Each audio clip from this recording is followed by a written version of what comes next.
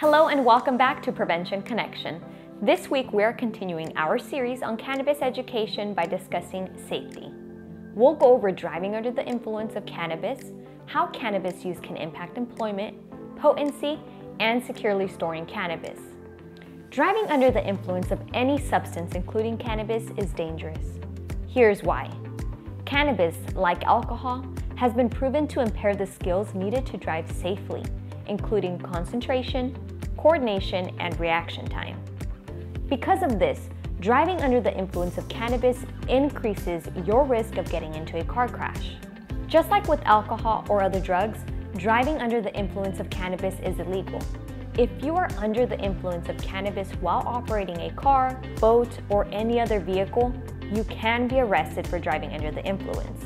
In addition, if you are pulled over for a traffic violation and an officer detects the odor of cannabis, a vehicle search is legal. Similar to how you cannot drive a vehicle with open alcohol containers or while passengers are actively drinking, it is illegal for passengers in vehicles to consume cannabis.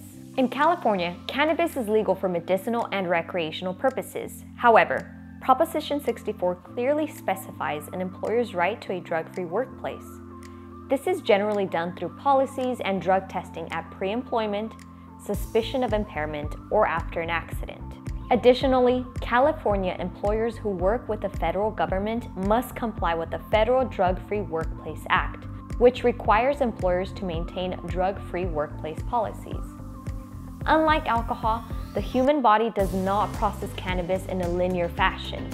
This is because not all cannabis products are the same, and the way cannabis can be consumed varies. Potency also varies between different forms of cannabis, increasing risks of unintended side effects.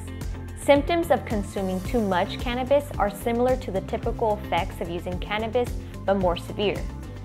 These symptoms may include extreme confusion, anxiety, paranoia, panic, increased heart rate, delusions or hallucinations, increased blood pressure, and severe nausea or vomiting. These symptoms also vary depending on how the cannabis was ingested. Smoking, vaping, dabbing, and eating cannabis products all have the potential to produce these symptoms because the amount of THC in these products can vary significantly. Because potency varies, safe and secure storage is extremely important. Children, even young children, can easily access cannabis products in their original packaging. As cannabis becomes legal for medicinal and recreational use across the country, the consumption of edible cannabis products has increased. Baked goods, candies, and even beverages that contain THC are now widely available.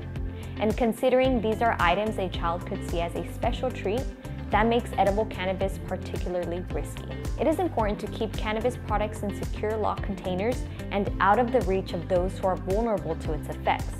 A lockbox provides a safe and secure method for storing cannabis products. If your child accidentally ingests cannabis, seek medical help immediately.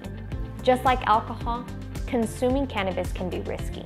If you're thinking about consuming cannabis, do so safely and responsibly, and remember to never provide cannabis to children and individuals under the age of 21. Thank you so much for watching. Next time, we'll be discussing the risk of youth use, so be sure to subscribe to never miss a video.